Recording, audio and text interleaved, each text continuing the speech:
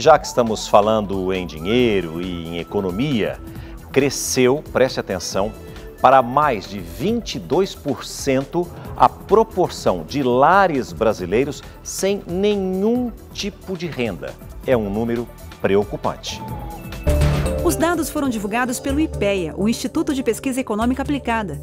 Segundo a pesquisa, a elevada taxa de desemprego e a lenta recuperação do mercado de trabalho levaram à falta ou à piora significativa de renda.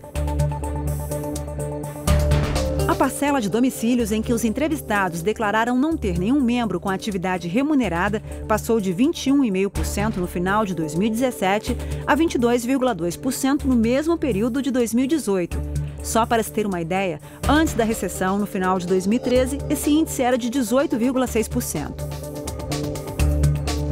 O estudo destaca ainda que a recuperação do mercado de trabalho segue fraca e os jovens e menos escolarizados são os mais afetados pelo desemprego. Os últimos dados mostram que a falta de trabalho ainda atinge 12% da população. Curioso? Baixe o Play Plus em playplus.com, na Google Play ou App Store.